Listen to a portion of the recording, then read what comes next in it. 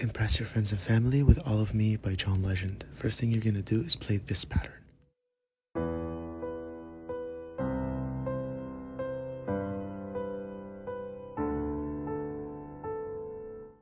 Now for the second part, what you're gonna do is play E and D with the pattern. So this is how you're gonna do it. You're gonna play E for the first part,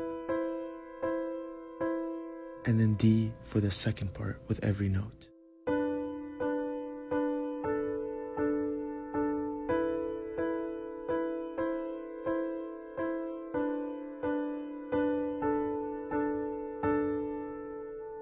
Now left hand is easy. We start with E, and then C, G, D, and repeat.